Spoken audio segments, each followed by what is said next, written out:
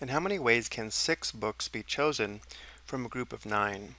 So in a situation like this where we have n items taken r at a time, or in this case, nine items taken six at a time, our first question is, does the order matter? If the order does matter, then we'll answer the question using a permutation. If the order does not matter, we'll answer the question using a combination. So to illustrate this, let's say these are the nine books. Let's go ahead and select six of them. Let's say we select these six here. Now if we change the order of these books, does it change the group of books? And the answer is no. We still have the same six books, and therefore the order does not matter, so we'll determine the number of ways using a combination.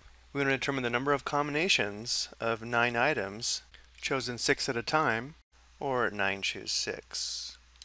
Notice how there are several notations for a combination. Looking at the formula, n equals 9 and r equals 6. So we would have n factorial, or 9 factorial, divided by n minus r factorial times r factorial, where n minus r is 9 minus 6. We have 9 minus 6 factorial times 6 factorial, which is equal to 9 factorial divided by 3 factorial times 6 factorial.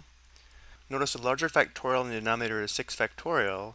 So when we go to simplify this, we'll write 9 factorial as 9 times 8 times 7 times the remaining factors would be 6 factorial. Notice in this form, we can see that 6 factorial divided by 6 factorial simplifies to 1.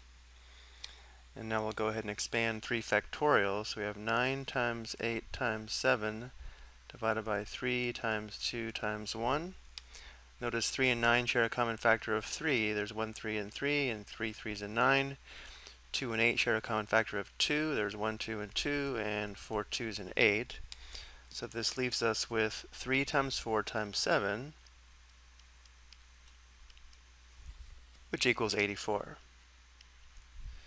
So there are 84 ways that six books can be chosen from nine books. Before we go though, let's check our work on the graphing calculator.